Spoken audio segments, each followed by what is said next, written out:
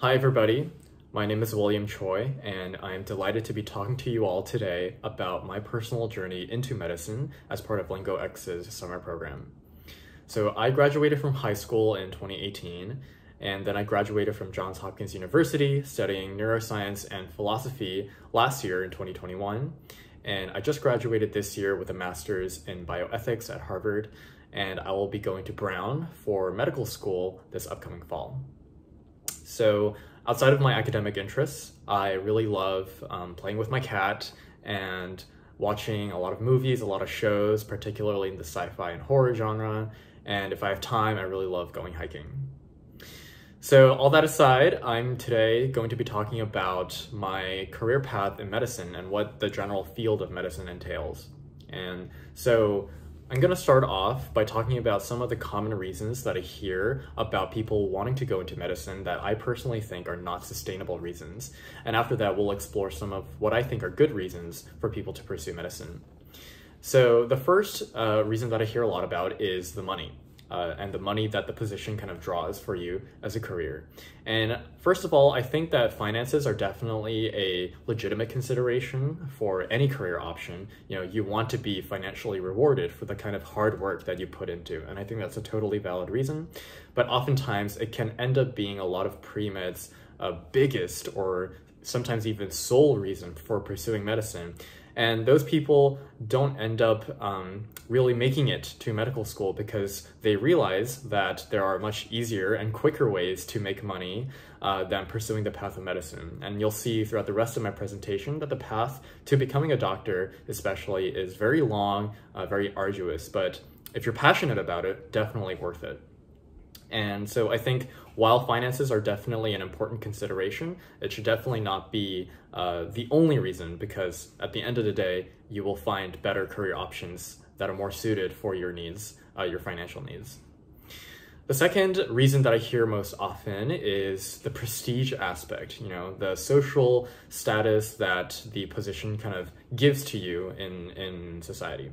And I think, you know, very similarly, um, as you get to college and beyond, people are just simply too busy living their own lives and thinking about their own careers that, you know, prestige doesn't really matter. And sometimes it can even feel like you're stuck in school, staying behind at school, while your friends have, you know, graduated college and now are working real jobs. They're earning in uh, money at a sometimes a greater greater quantity than you are, um, especially during your residency years. And so I think you know life is a long game. Um, you know your career as a physician can be really long and drawn out, and so it's definitely worth considering if that prestige aspect is definitely worth um, that.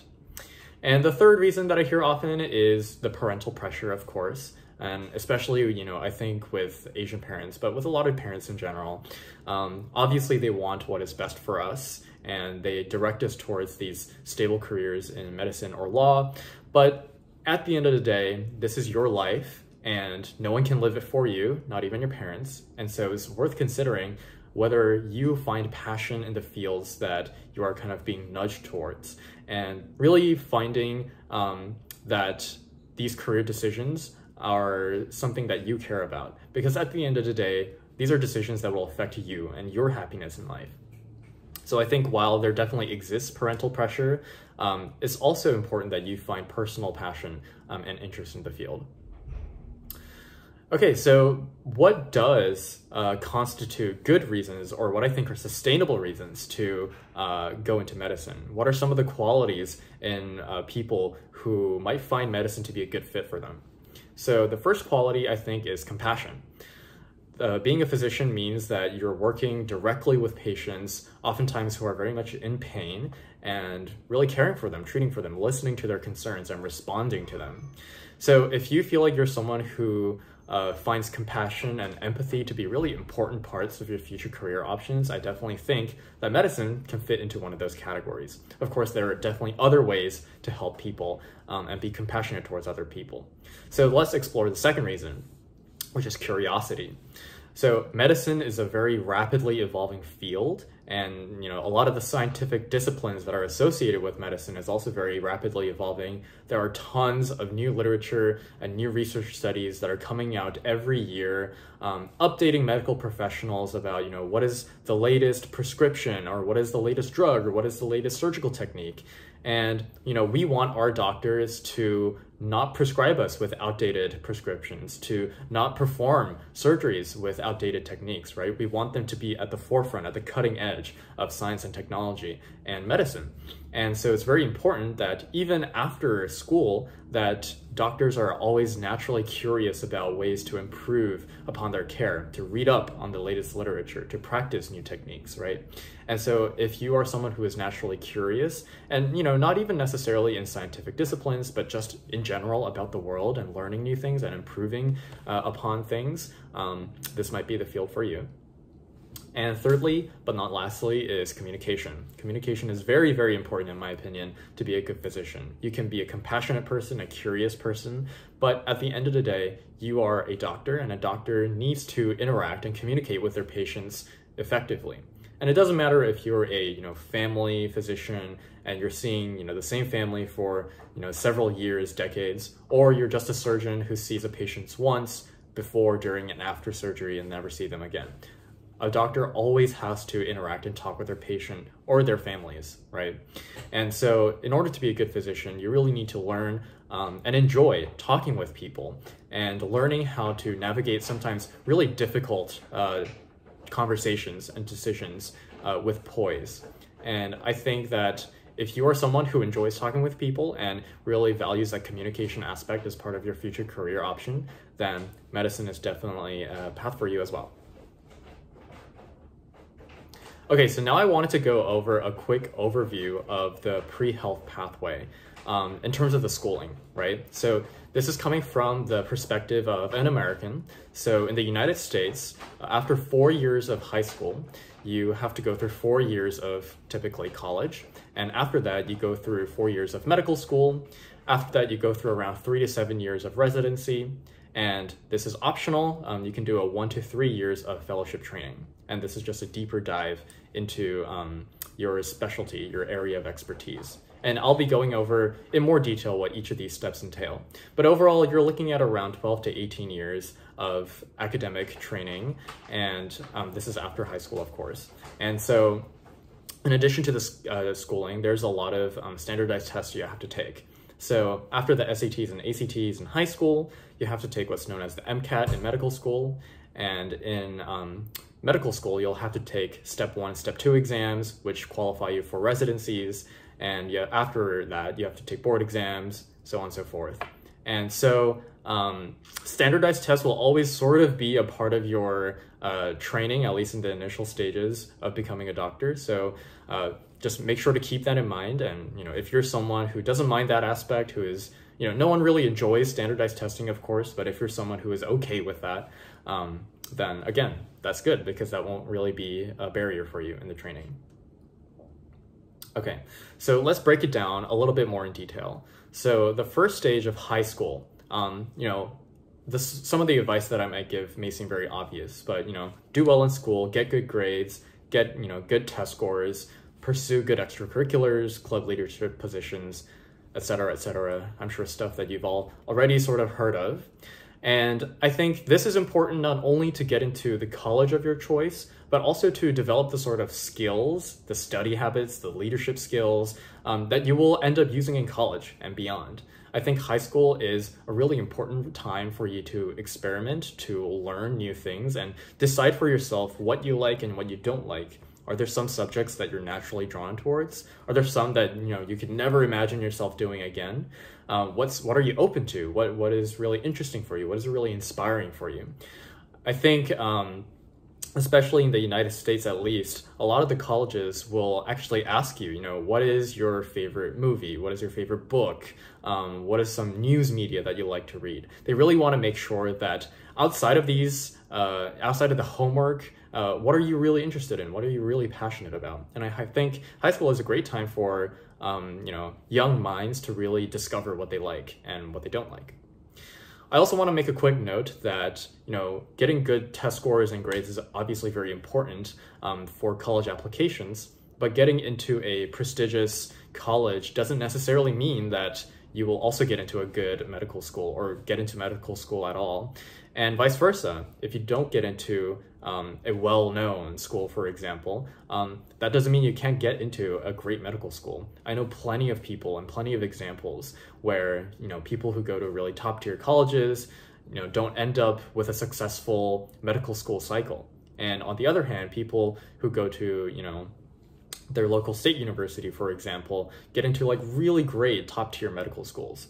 Um, so obviously, I think there are advantages to going to a competitive college. Um, you get to connect with people um, who are doing great research. You're surrounded by peers who are academically competitive, so that will drive you academically as well. Um, but at the end of the day, going to a great college is not necessarily a golden ticket to medical school or a good medical school. Um, so I think that's just important to keep in mind.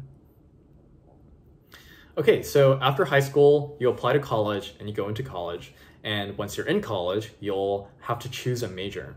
And typically in the United States, you choose a major after your freshman year. Um, obviously, you can do it earlier if you already kind of know what you want to study. And so some of the common questions that I get about majors is, first of all, is there a pre-med major? And if not, do I have to major in biology in order to be a pre-med? And also, what happens if I'm not interested in majoring in the sciences? Do I have to major in the sciences? And these are all perfectly great and legitimate questions. So firstly, there is no such thing as a pre-med major. Pre-med is actually a track that uh, people go through. It's sort of a label that students kind of put on themselves to show like, hey, you know, I'm studying to go to medical school. And so what happens is that medical schools will have a set of requirements, pre-medical requirements for their applicants to fill out in order to get into medical school. And this is typically like, you know, a year of biology, a year or two of chemistry, a year of physics, things like that. Um, some of these could be fulfilled by your AP credits, um, but it also depends on whether your college accepts AP credits. Um, but that aside, ultimately, there's no such thing as a pre-med major. Um, a lot of people tend to major in biology because the requirements to fulfill that major overlap considerably with the requirements um, for medical schools. But it's totally possible to pursue and major something um, non-biology or non-science even, and also fill out those pre-medical requirements on the side as well. It's definitely doable. I personally think that someone who chooses to major in the humanities, for example, like history, English, philosophy, literature, um, are actually able to make themselves more unique in the applicant pool. Because if you think about it, a lot of the admissions officers who are reading these medical school applications, they see a ton of students who major in the sciences or in biology. And so when they see someone who comes from a different uh, background or has a different major, like the humanities, that is more interesting to them, right? So I think that doesn't mean that you shouldn't major in biology. I think there are pros and cons. Um, and the at the end of the day, I don't think there's any particular benefit in choosing whatever major um, that you think will help you get into medical school. I think everyone should definitely major and pursue in what they are interested in. And that helps them talk passionately about their major uh, when it comes to interview seasons, for example, or when they have to write their essays about why they decided to you know, choose to study XYZ. So yeah, most importantly, I think you should be passionate about these majors. Um, I personally studied neuroscience and philosophy because I was general, genuinely interested in them and not because I thought they would necessarily help me get into a better medical school. And I am, you know, really glad I still am interested in those fields and I'm hoping to carry them into medical school.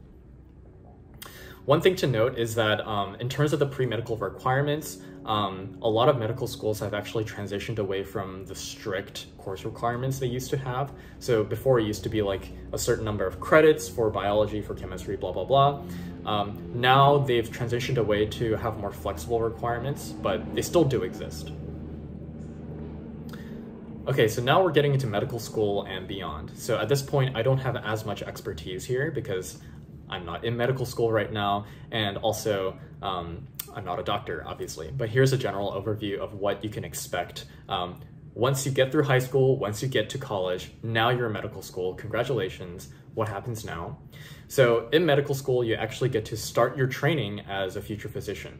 So you get to apply your knowledge from the classroom to the real world. You get to interact with real patients under the mentorship of, uh, of doctors, of course. And you start learning also about different specialties um, because now you have to decide what sort of residency you want to apply to. So really quickly, what is a residency? So residency is basically like a college major, except in the field of medicine. And, you know, being a doctor doesn't mean you get to practice everything. Um, although I guess internal medicine doctors, they do practice uh, broadly. But in general, doctors usually um, specialize or are experts in a very particular area of the human body. So you know, there are, I think, over 100 specialties in the United States alone. Um, you could be a neurologist, an anesthesiologist, an orthopedic surgeon, um, a ophthalmologist. There are just, you know, so many different areas of the human body that people can specialize in. And medical school is the time where people really start to identify what parts of the body that they're interested in studying, um, for example, the brain, and uh, really get to see what clinical practice is like in the real world. And after you apply to residency and you get into residency, you can also then choose to pursue a fellowship after that. And so fellowships um, are another deeper layer of studying um, in the field of your choice. And so typically, you know, if you want to subspecialize or if you want to, you know, learn more, do more research in a particular field that you're really passionate about, you'll apply to fellowship and spend a few more years doing training, um, maybe learning more skills. And um, obviously after that is just full-time work. And uh, in terms of full-time work, there's also a variety of options. You could work in a university hospital, which is much more academic. You know, you're probably working uh, with you know students to some capacity as well. You can also work with um, or work in a community hospital um, in you know your local community. You can start your own private practice. Um, that gives you more flexibility. You can earn more money potentially, but you'll also have to handle some of the administration stuff, etc., etc. All right, so before I sort of wrap up this section of my lecture, I wanted to quickly touch upon grad school um, because I did do a master's program, I had to apply for it. Um, and so yeah, I just wanted to really quickly talk about um, grad school and gap years. So it's becoming increasingly popular for uh, pre-med students to take a gap year, at least one gap year, after college and before medical school. And they take this time to really uh, build upon their experiences, to beef up their resume so that they can become a more competitive applicant uh, for medical schools. Now, this doesn't mean that you should take gap years, but it definitely means that it can help. And if you feel like you need to take some more time after college to really learn about whether or not this is something that you're truly passionate about, um, that's totally fine. Not everyone figures that out after college, and it's definitely important that you explore um, that field or other fields or other careers before you make a really firm decision because medical school and beyond is a really big commitment. So you need to make sure that this is something that you really want to do for the rest of your life. Um, so I personally chose to pursue a master's degree in bioethics. I think there are a lot of ethical issues that are made in the clinic. Um, so, you know, if you're someone who is interested in that aspect of medicine as well, um, I think there's space for you in medicine as well. Um, you know, this recent COVID pandemic, I think, brought to light a lot of ethical issues. We could talk about you know, ventilator or vaccine allocation. We could talk about, you know, access to healthcare for minority populations in the United States. Um, we could talk about you know the rise in violence against Asians uh, in the United States due to uh, stigmatization uh, associated with COVID. A lot of really um, deep moral problems that I think physicians have a lot of responsibility um, to to kind of tackle. So I think um, these are important. I think education and not just bioethics, but you know others master other master's programs like medical education, um, clinical sciences, other fields are are equally important. Um, and if that's something you choose to do in your gap year, that's great. I also know people who um, work in a hospital as a clinical scribe, or they just do more clinical research. I think that's also very important, very valuable work. And so, yeah, it just all depends on what you want to do during that extra few years or a year. All right, so before I get into the Q&A session, I really uh, wanted to talk about the fact that all this information might seem really overwhelming to some of you, and you know, some of you might actually get turned off or scared um, from this pathway. Hopefully not, but I understand that it can definitely feel uh, like a lot and a very overwhelming. Um, and I'm here to say that, you know, I'm not here to um, mince my words, and I will be pretty honest about the fact that this pathway um, is difficult and it is very arduous. Um, but at the same time, it can be very rewarding and very fun. And especially if you have a passion, genuine passion for the field, then you know a lot of this work will be worth it. And so I think personally, you know, getting to treat someone um, and just caring for someone who is at their lowest moment of their lives is just an incredible honor to have and an incredible privilege to have. And if that is something that gives you meaning in your career or gives you meaning even in life, I think that medicine um, might be the right, path for you, given all these considerations. Um, at the same time, you can feel like being a physician still seems really difficult, and you're not sure if you know you really care about these things, you really care about healthcare, but you're not sure if being a physician is the right fit.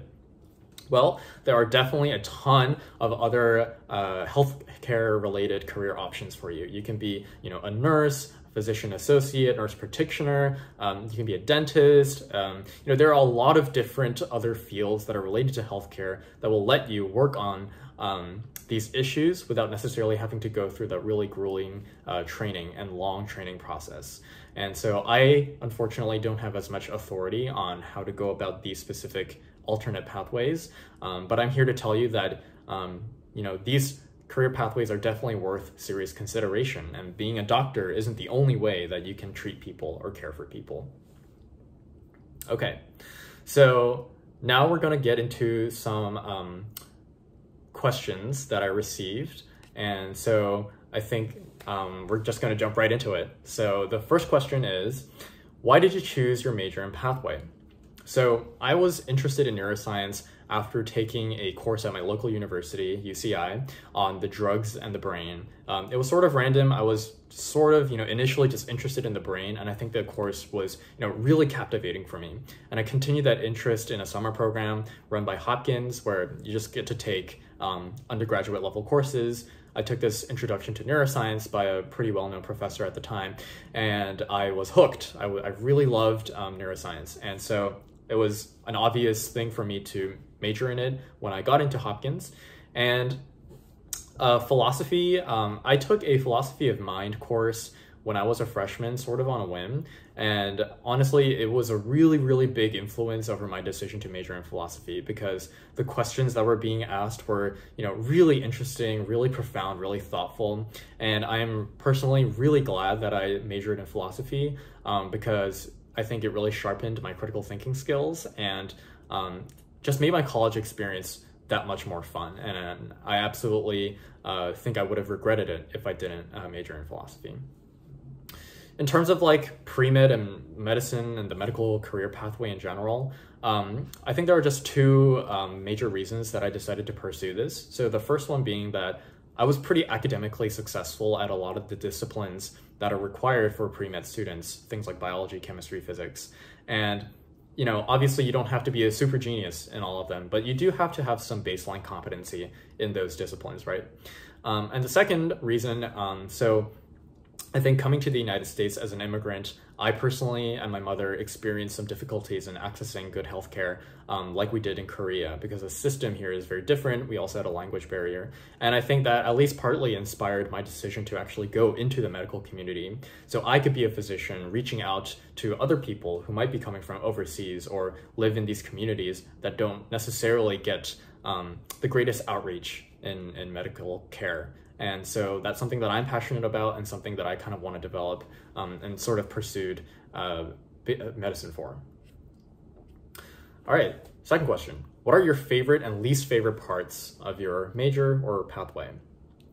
So I think my favorite part about medicine and the field of neuroscience to an extent is that it is always changing. It's really exciting, fast-paced stuff, and it's ever evolving. And the brain, I think, is one of the last um, sort of mysteries of the human body. We don't really understand what's going up here. Um, even now, and we don't have a lot of cures for neurological disorders. And so I think that creates a lot of potential for us to improve and to investigate the brain and, you know, create good medical practice out of it. And so I think that's something that just really excites me. And I think with philosophy and uh, bioethics, um, it's really taught me to think more deeply and more self-reflectively about you know the, the, kind of decisions that I get to make as a potential future physician and how that affects people around me. And I think just in general, like I said before, philosophy and ethics really helps me connect with people more on a human level and really try to understand other people's perspectives and try to think about things in a creative and different way. And so I think if you're someone who um, you know, really likes exercising that right part of your brain, um, it's, it's definitely an important skill to have in, in medicine. Some of my least favorite parts um, about medicine, I think, is that sometimes it can feel a bit limiting in terms of what you can do as a physician. Uh, oftentimes, you're only seeing uh, patients within the clinic, right? So they're coming to you with a problem already, and your job is to solve that problem uh, through treatments or surgeries or whatever interventions. Um, and sometimes that can feel a little bit limiting when the patients are going back into an environment that, you know, systematically impedes their health, whether it's, you know, lack of insurance that means they can't access certain treatment options, or if it's an unhealthy, toxic environment that physically damages their health, um, it feels like you can't do much about that as a physician. But the good thing I think is that uh, as a physician, you're not just limited to clinical care or clinical practice. You can also incorporate political advocacy or healthcare advocacy into your uh, work um, in conjunction with your medical care. So I think um, if this is something that is uh, a passion for you, then it's something that you can definitely do as a doctor.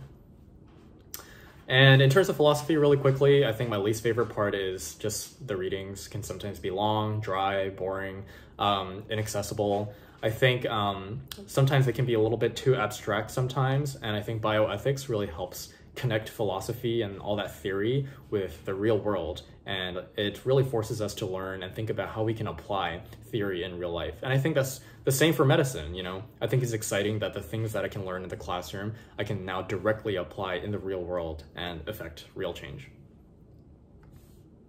I'm just gonna sip some water. All right. Third question. what does my workload look like? So I'm assuming this is talking about college. Um, so in college, honestly, it was not that bad for me. I think I only pulled one all-nighter in all three years of college. And for the most part, I got like seven to eight hours of sleep average. So I think it's all about good time management, honestly. As long as you're allocating your time properly and you're developing good study habits, you will have the ability to make time for friends, you will have time for fun, you know, I think college, yes, you're go- you're going there to study hard for your careers, but it's also a time for you to have fun, and I think that's important to have that balance. All right, question four: How did you make a college list? How many colleges did you apply to? So I applied early decision to Hopkins. So I technically only applied to one college because I had to withdraw my other applications after I got that acceptance. Um, but I think my general advice for creating a college list is to, you know, really look into the programs. Um, and, you know, you could just do that over the internet, go on their websites and, you know, see what about each program or each college that you like. For example, I chose Hopkins because Hopkins has a very reputable neuroscience program.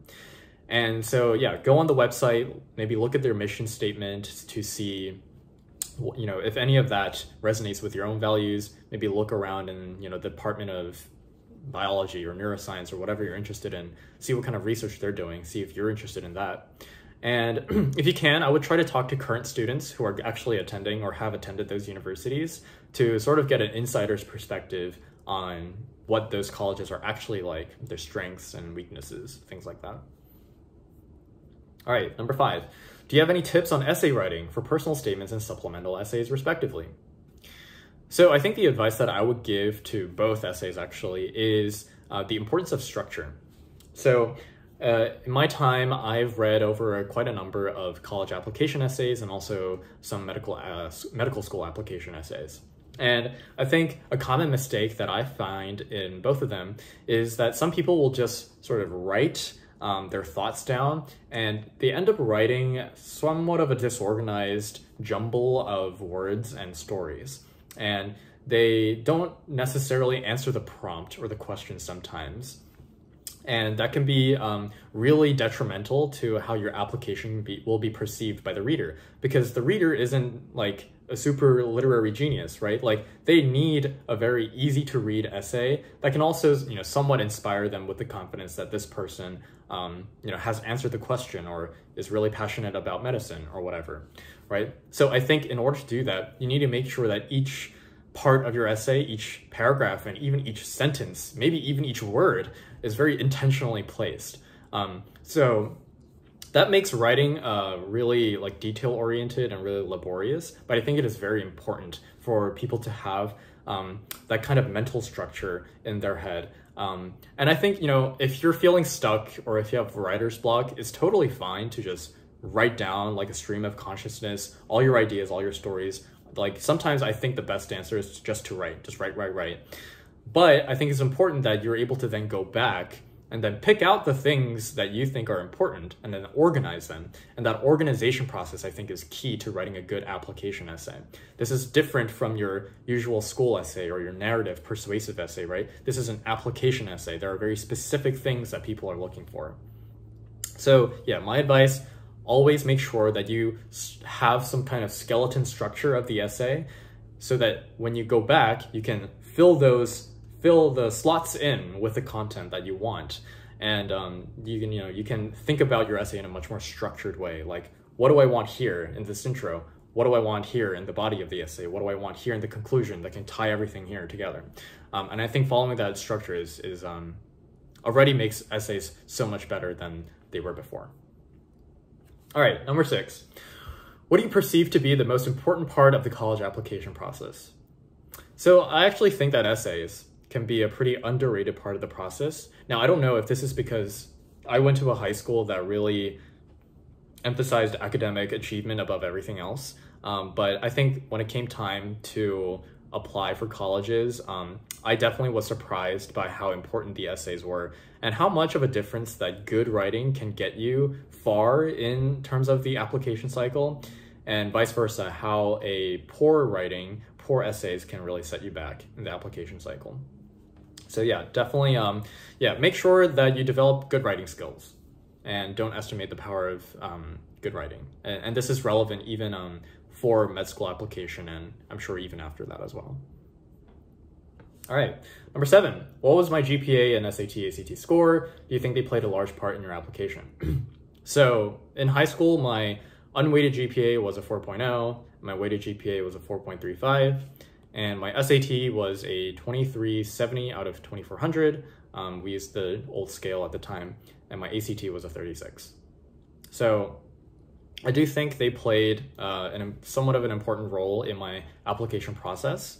Um, I definitely don't think um, it was the end all be all. I mean, I know plenty of people who didn't get a 4.0 in high school, who didn't get, you know, perfect or near perfect SAT, ACT scores, and they still ended up going to like Hopkins with me or to like UC Berkeley or UCLA and really great colleges, right? Um, so yeah, I think, you know, you should definitely strive to do the best as you can academically. And, you know, after all, medicine is a pretty academic field.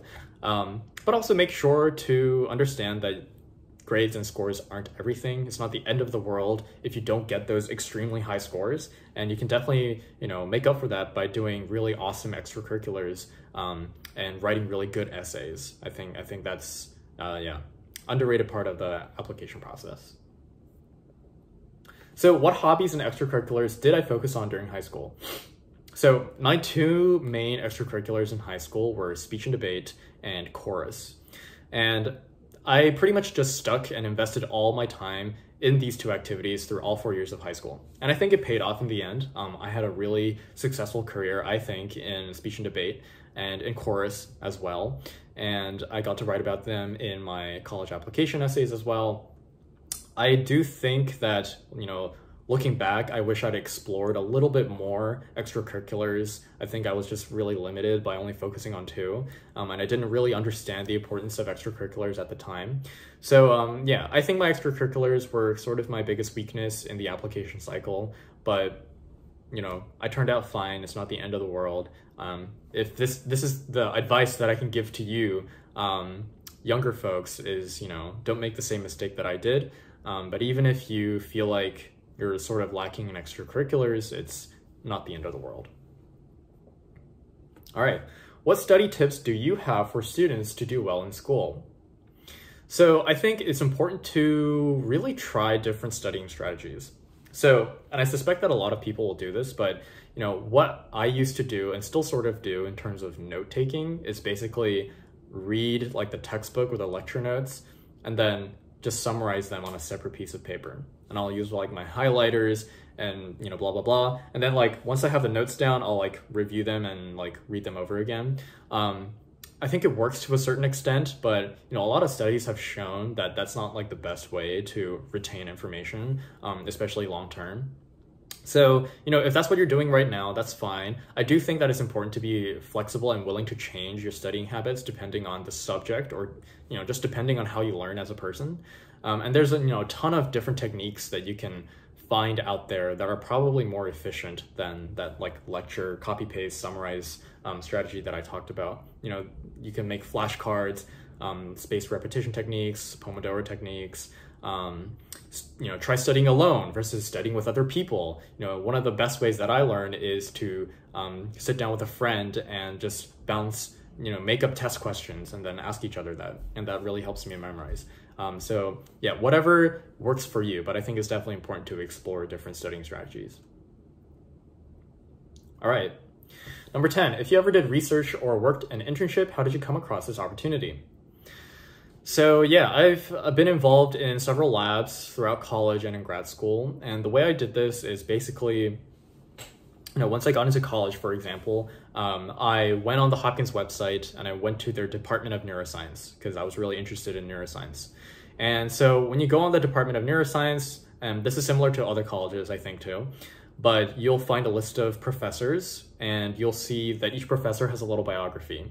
And it will typically have their research projects or their research interests listed or described. And so I read through them, you know, I thought, you know, oh, this seems interesting. And I made a short list of professors whose research that I found pretty interesting.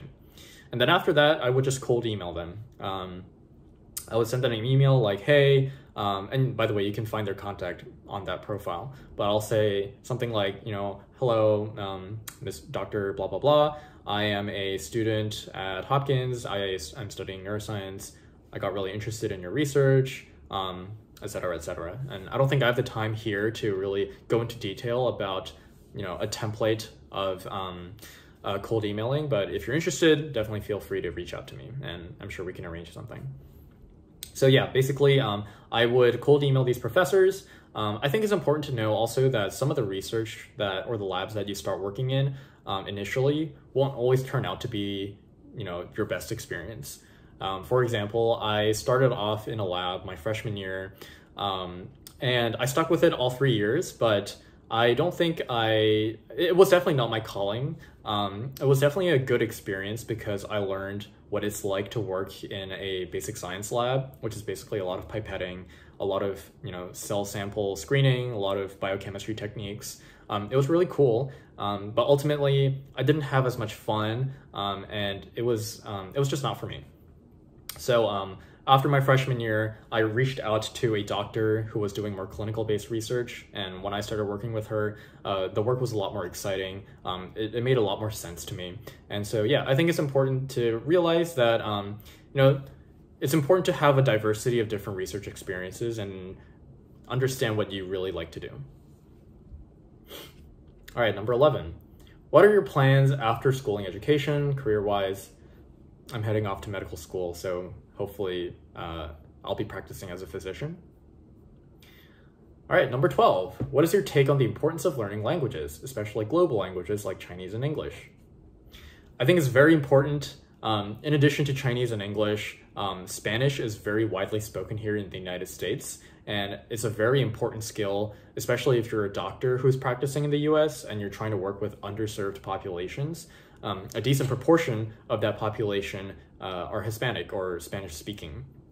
So I personally wished I spent a lot more time learning a different language um, other than Korean and English. Um, even in high school, honestly. So I'm, I'm still using apps like Duolingo to learn Spanish, but it's obviously not as good as if I learned them when I was younger. Um, so yeah, our world is getting closer and closer together. I think as it does in the future, um, and it already is, the importance of knowing different languages will be really important. All right, final question. What do I think about LingoX's mission? So on their website, LingoX's mission says that they are ensuring that all students have access to quality, authentic foreign language education, regardless of income level. And I think that's a great mission. And I'm really personally proud of Mia, um, who is, I believe, the founder and CEO of the organization, for spearheading this super important initiative. And I can only hope that I've contributed some part in meeting her and her team's goals. Um, I, I, think this is a is a great cause, and um, I'm just really happy to be part of it. So. Uh, with that being said, I would like to thank LingoX for inviting me, uh, giving me a platform to speak a little bit about my experiences, and um, hopefully you'll be able to contact me. I'll provide some contact information to the team. Um, but otherwise, thanks so much for listening. And uh, yeah, that's it. Bye.